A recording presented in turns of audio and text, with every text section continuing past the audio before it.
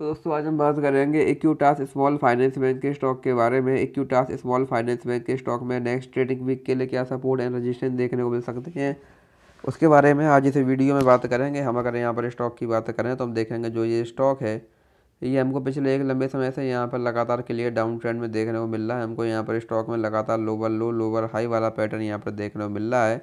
और आज भी हमको यहाँ पर स्टॉक में 1.69 परसेंट की यहाँ पर गिरावट देखने को मिली है। तो यहाँ से अभी हम स्टॉक में बात करें, यहाँ से अगर स्टॉक में ये गिरावट कंटिन्यू रहती है तो यहाँ से और गिरावट की कंडीशन में हमारे पास यहाँ पर स्टॉक में सेवेंटी वन का पहला यहाँ पर सपोर्ट देखने को मिलेगा। अगर स्टॉक इसको भी यहाँ ब्रेक करता है देन यहाँ से हमको स्टॉक में सिक्सटी सेवन देन यहाँ से हमको स्टॉक में सिक्सटी वन और फिफ्टी फाइव तक के लेवल्स भी यहाँ से अभी देखने को मिल सकते हैं एज ए नेक्स्ट यहाँ पर सपोर्ट वही यहाँ से, अब अगर स्टॉक में रिकवरी आती है तो यहाँ से अब रिकवरी की कंडीशन में हमारे पास यहाँ पर स्टॉक में सेवेंटी सेवन का पहला यहाँ पर रजिस्ट्रेशन देखने को मिलेगा। अगर स्टॉक इसको भी यहाँ ब्रेक करता है देन यहाँ से हमको स्टॉक में एटी सेवन और अगर स्टॉक ने इसको भी यहाँ ब्रेक किया देन यहाँ से हमको स्टॉक में अगेन एक बड़ी तेज़ी, एक बड़ी बाइंग यहाँ पर देखने को मिल सकती है। इसके बाद हमको यहाँ पर स्टॉक में नाइन्टी नाइन देन यहाँ से हमको स्टॉक में वन ज़ीरो सेवन देन यहाँ से हमको स्टॉक है वन हंड्रेड सिक्सटीन और वन ट्वेंटी वन थर्टी तक के लेवल्स भी यहाँ से अभी देखने को मिल सकते हैं।